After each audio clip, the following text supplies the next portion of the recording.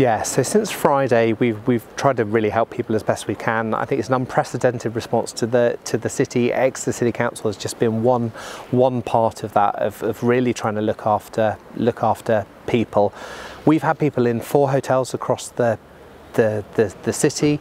It's around 26 people or 26 families and around 40 40 people in that core 100 metre.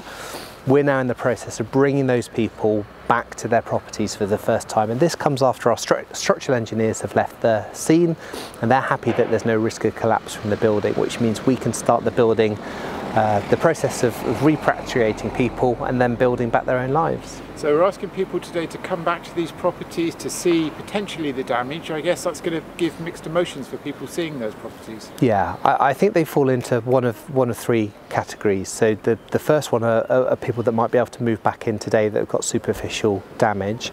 There's going to be others that have got kind of medium damage and they might need a, a couple of days to, to find their feet and speak to insurance and sort themselves out. So we're happy to accommodate them. We're going to continue to look after people and, and provide food and drink whilst that transition period takes place. There's then a final category that's going to find some more structural damage that's going to require re rebuilding uh, and we're asking people to come back to their properties today to start that process off.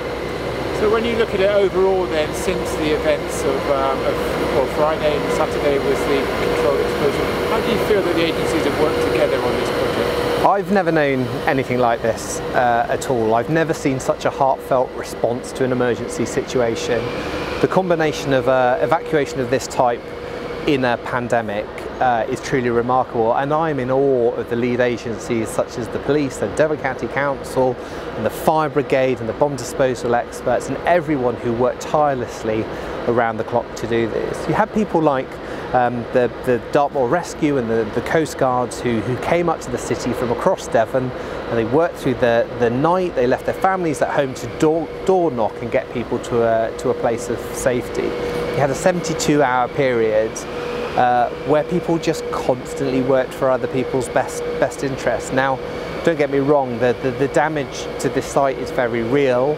Uh, people are going to be incredibly up, up, upset. Um, but I'm absolutely confident everyone did everything they possibly could to help.